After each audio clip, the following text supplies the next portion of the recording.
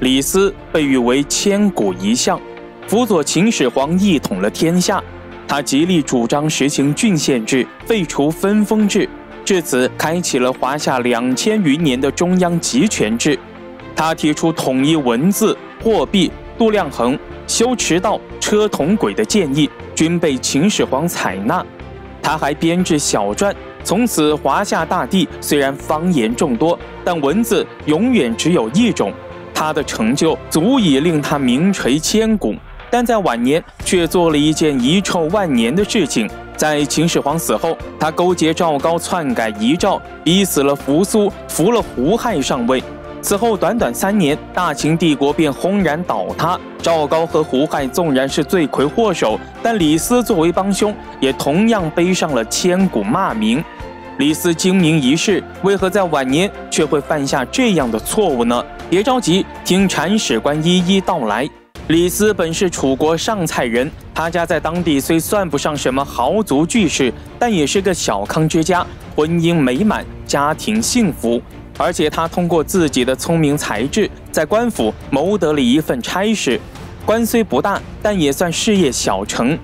原本这样平静惬意的生活会一直继续下去。直到有一天，几只老鼠点化了他。李斯在上厕所的时候，发现厕所里有几只老鼠，一有动静就会东逃西窜。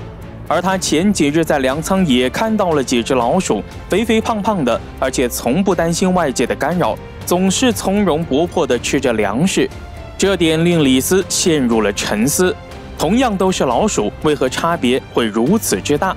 厕所里的老鼠吃的不好，还如此担惊受怕；而粮仓里的老鼠吃的是粮食，却吃得这么心安理得。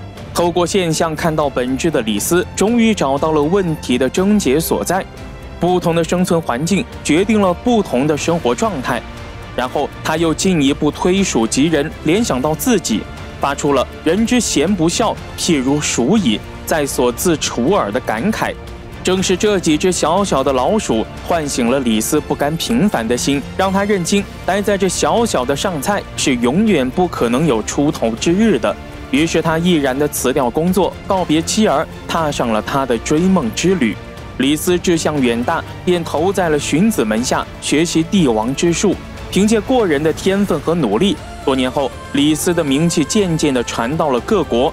恰逢秦相吕不韦派人到学宫招揽人才。李斯权衡之后认为，当今天下只有秦国有实力完成大统，便先投到了吕不韦门下。很快便得到了吕不韦的器重，将他举荐到了嬴政身边为郎，至此有了接近嬴政的机会。李斯一番慷慨激昂的演讲，顺利博得了嬴政的注意。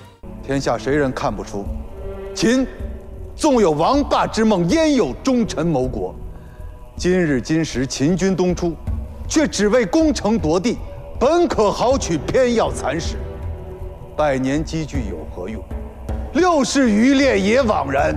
此后，李斯提出先灭韩，以恐他国的吞并顺序。嬴政下令驱逐一切外客。李斯给嬴政写了一封信，力劝嬴政不要逐客，这就是有名的谏逐客书。也是因此，李斯更是受到了嬴政的重用。此后，他与嬴政双剑合璧，剑指六国，最终成功辅佐嬴政，完成了天下大统。嬴政也感于李斯的忠心和功劳，任命李斯为宰相，给予了他无上的恩赐和荣宠。李斯凭借着自己的努力，终于从默默无闻的上菜小吏，爬到了一人之下、万人之上的大秦宰相，实现了自己的人生逆袭，达到了人生巅峰。公元前二一零年，秦始皇东巡途中驾崩于沙丘。李斯干了一件令他晚节不保的事，伙同赵高篡改了遗诏，逼死公子扶苏，扶持胡亥上位。而他最终的结局和此举也离不开关系，被赵高扣上了一个谋反的罪名，腰斩于市，一灭三族。铲史官认为，李斯这样做的原因有以下两点：一，名利心作祟。李斯其人有才华有想法，但还有一点就是太贪恋荣华富贵。李斯初为楚国小吏，经过不懈努力，终于到达人生巅峰。他深知此地位的来之不易，但起初他对赵高是拒绝的。赵高对他说了一句话：“今视此而不从，祸及子孙，足以为寒心。善者因祸为福，君何处焉？”意思是说，你李斯就算不为自己考虑，也要为你的后代子孙想想吧。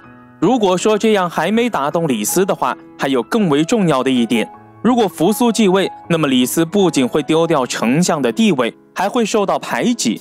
因为扶苏偏向于儒家思想，即使他上位后不会用儒家治国，很大可能也会用黄老无为治国，或者儒法并用。而李斯却是不折不扣的坚定法家思想。两人的治国理念不同，所以扶苏定然不会重用李斯，并且两人在之前就结下了怨。要知道，焚书坑儒是由李斯提出来的，而扶苏对此是极力反对的。为此，还向秦始皇冒死进谏。父皇，如若大秦不禁止焚书，建尧薄税，大秦会有反噬啊！你好大的胆子！两人不仅理念不同，还有旧怨，所以如果扶苏上位，李斯的地位必然不保，从仓鼠变回到家鼠，这是李斯接受不了的。即使他可以接受，但是他的后代也可能会跟着变成家属，他一辈子的苦心经营终将化为泡影。所以李斯的此举是为了一己之利，而不是为了实现胸中的抱负。二，严重低估了赵高。李斯会选择拥立胡亥，肯定是有过考虑的。在这件事上，他虽有私心，但还远不至于因为一己私利而葬送大秦江山。在他看来，当时的胡亥从小在深宫长大，并且深得秦始皇宠爱，秦始皇对其也没有刻意培养过。胡亥就如同一张白纸般干净，他有能力也有信心将之培养成才。他既然可以辅佐秦始皇一统天下，自然也可以辅佐胡亥治理天下。然而现实是残酷的，他严重的低估了赵高。他本以为赵高就是读过几本律书，没什么真本事，并没有将其放在心上。但没想到赵高的野心如此的大，手段会如此毒辣。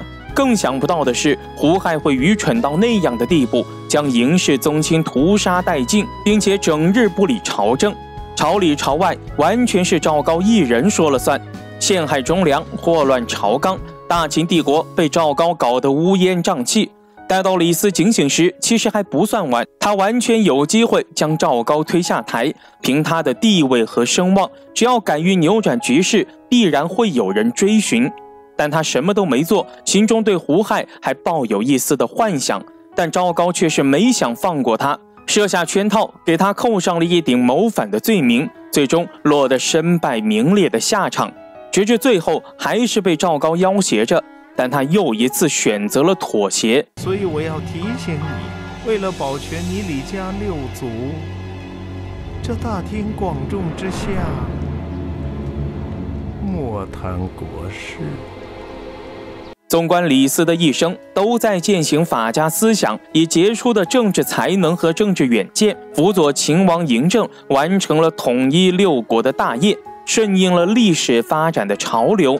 秦朝建立后，李斯又继续辅佐秦始皇，在巩固秦朝政权、维护国家统一、促进经济文化的发展等方面做出了卓越贡献。